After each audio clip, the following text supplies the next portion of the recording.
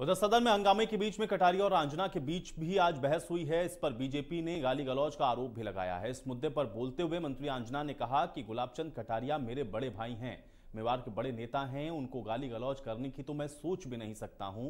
हंगामे के दौरान मैं उनको सिर्फ़ समझा रहा था। सर विपक्ष ने आरोप लगाया कि आपने आज असभ्य भाषा का प्रयोग किया है सदन में।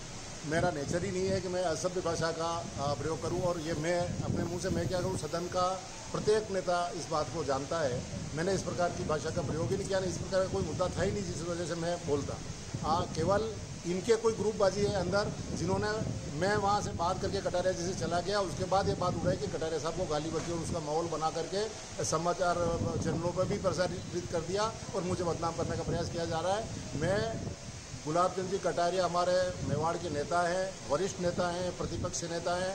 मैं उनका एक बड़े भाई की तरह से उनका सम्मान करता हूँ। मैं उनको अब शब्द कभी बोल ही नहीं सकता। और ये इन्हीं के अंदर कोई ग्रुपबाजी है, जो इस प्रकार से परिवर्तित कर रहे हैं उदयला राजना कटारिया को